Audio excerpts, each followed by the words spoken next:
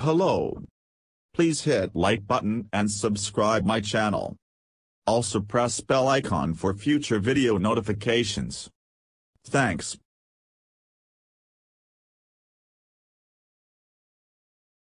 Consumers told that not recycling their batteries, risked polluting the equivalent of 140 Olympic swimming pools every year, were more likely to participate in an electronic waste recycling scheme, a new study has found.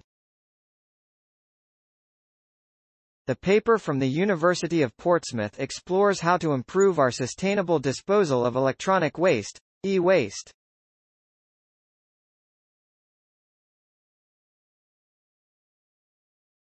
With Christmas around the corner and consumers buying the latest mobile phones, tablets, headphones and televisions, older electronic products become defunct and add to the alarming quantity of potentially toxic e-waste.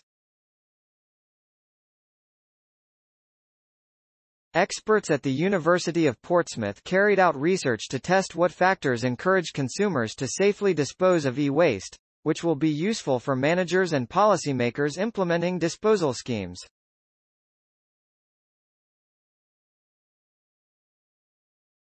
Lead author of the study, Dr. Diletta Acuti, from the university's Faculty of Business and Law, said, the world's electronic waste is an enormous problem which needs to be addressed urgently.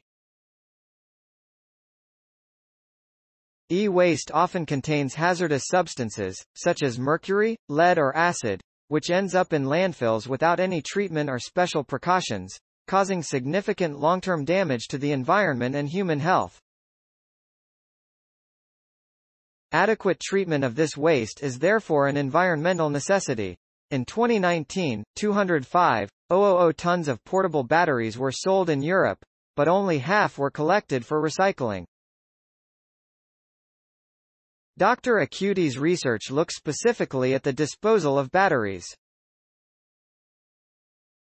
The researchers conducted a field experiment in northern Italy, which analyzed how the proximity of bins and the language used to encourage recycling affected 100 people's efforts to dispose of their e-waste.